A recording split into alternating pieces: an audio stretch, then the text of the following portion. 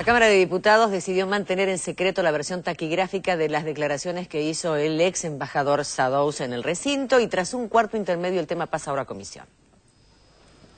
Finalmente, luego de una dura polémica por mayoría opositora, la Cámara de Diputados decidió que el testimonio del ex embajador en Venezuela, Eduardo Saduz, siga siendo secreta, aun cuando algunos medios publicaron supuestos párrafos de la versión taquigráfica de su testimonio ante la Comisión de Relaciones Exteriores. Ustedes saben que la declaración de Saduz fue una declaración secreta por resolución de la propia Comisión de Relaciones Exteriores, más la sugerencia original de la propia Cancillería.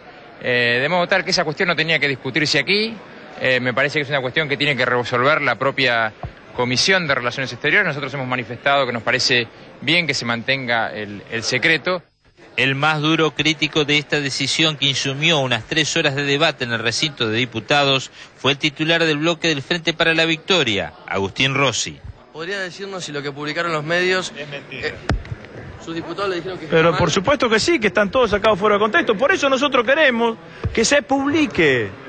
La forma de que cada uno se saque la duda es que se publique. ¿Por qué quieren mantenerla escondida? ¿Qué interés están protegiendo? ¿A quién protegen? ¿A quién protegen los diputados de la oposición que no quieren que se dé publicidad?